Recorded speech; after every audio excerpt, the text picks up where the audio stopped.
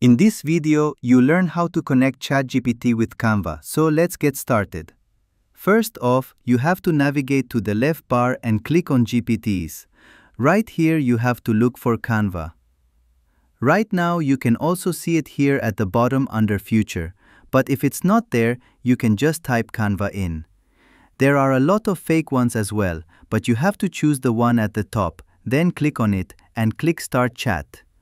Right now, you can ask Canva within ChatGPT a question. So let's just pick this one. Highlight my favorite hiking trail in a Facebook post. And now it's asking me to add some details, so let's do that. Make it very simple. Right now it will say talking to connector, and what you'll have to do is click on confirm. Then it'll say talking to jetgptin.conf.com canva.com. Now we'll have to wait a little bit.